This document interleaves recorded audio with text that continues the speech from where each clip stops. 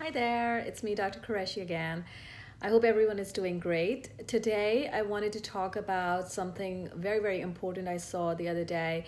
Um, it's important from a, a, lot of perspectives, obviously, from the patient's perspective, because it's an emergency situation, and also for other subspecialty doctors to know what to do in this kind of a situation uh, if the ER is equipped to treat those kind of situations or not, and even the urgent care, because a lot of times patients do like to go to the urgent care first and foremost, depending on what time of the day they are experiencing their symptoms and so on and so forth.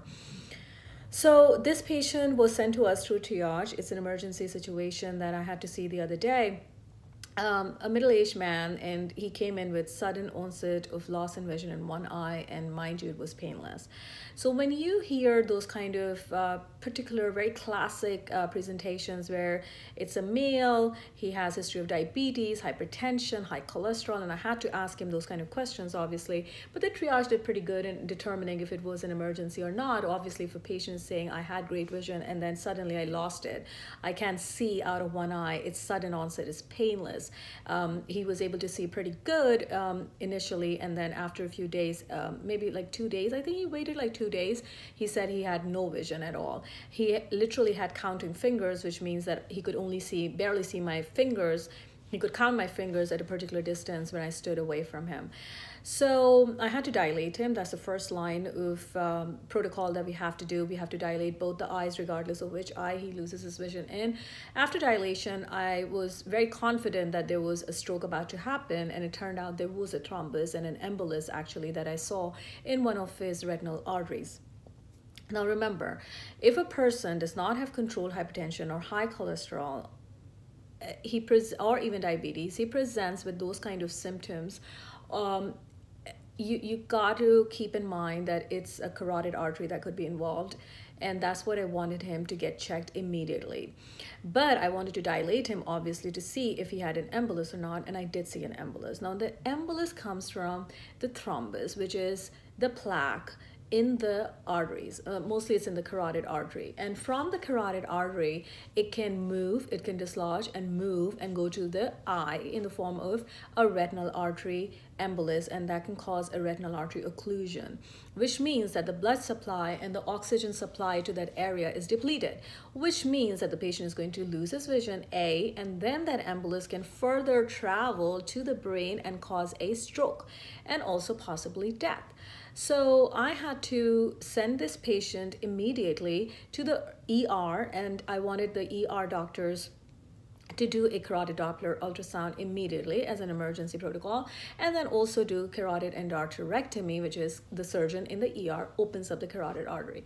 Now, for these things to happen, timing is very important because if we delay the situation or if the patient himself had delayed the situation, because let's be honest, a lot of times patients don't like to go to their doctors. Patients just are reluctant. They have anxiety, stress, uh, whatever, in going to their physicians, doctors, or whatever.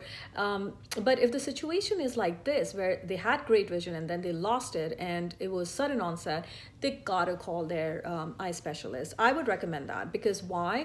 Because the urgent care or ER are not fully equipped with these kind of um, machines, slit lamps. They do not have that kind of training in order to determine what the cause of the problem is and how to even diagnose and treat it. Um, so I, I encourage patients, audiences, whoever is watching this, and I know a lot of you have asked this question in, in the blogs and messaged me directly and ask these questions even at at our clinics. What do we do if we have that situation? I always say please please please call us come to us. So long story short an other thing that we can do in the clinic because i was blessed because we have an amazing team dr lahi at lahi eye care. Total eye care has um, selected some of the best nurses um, uh, technicians, scribes, a team of excellent doctors we have. Everyone is very passionate about helping patients, helping humanity. And that's literally what our motto is at work. So I had this uh, technician slash scribe slash nurse in the room with me. Her name is Leslie. I have to mention her name because she went above and beyond. As I was uh, checking this patient in the exam room. I told her, "Can you please get him admitted to the uh, to the hospital?" And she made this phone call at Lafayette General Hospital. Um, their ER was uh, ready to see our patient, and that was very nice that we were able to send him to the ER in a timely manner.